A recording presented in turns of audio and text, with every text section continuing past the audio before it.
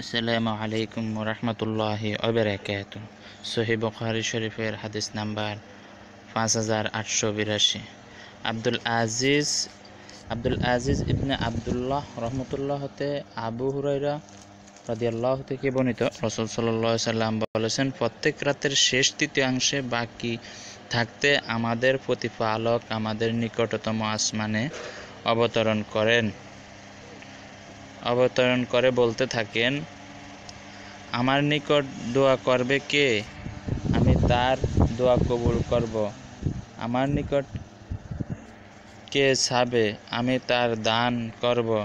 আমার কাছে কে তার গুনাহা মাফ চাইবে? আমি তাকে মাফ করে দেব। সুবাহান্লাহ সুবাহান্লাহ তো রসুল সাল্লাহ সাল্লাম এখানে আমাদেরকে বলে গিয়েছেন যে, আল্লাহ তালা প্রত্যেক রাতের শেষ তৃতীয়াংশে মানে শেষ তৃতীয়াংশের শেষ তৃতীয়াংশে আমাদের মানে আল্লাহ তালা আমাদের নিকটতম আসমানে আসেন। তখন আমাদেরকে বলতে থাকেন যে, তোমরা কে দোয়া কবুল করার জন্য কেউ কি চাও আমার কাছে? কেউ গুনা মাফ চাও? সবাই আমার কাছে চাও, আমি মাফ করে দিব, আমি তোমাকে সেই জিনিস দিয়ে দিব।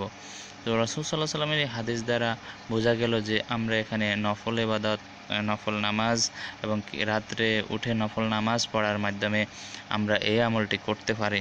তো রসুল সাল্লাহ সাল্লামের হাদিস দ্বারা আমরা নিজের জীবনকে আলোকিত করে জান্নাত, আল্লাহ যেন আমাদের জান্নাত নসিব করে, আমরা যেন জান্নাত পেতে পারি সেই জন্য আমরা সবসময় আল্লাহর ইবাদত করতে থাকব আর বেশি বেশি করে নফল নামাজ পড়ব।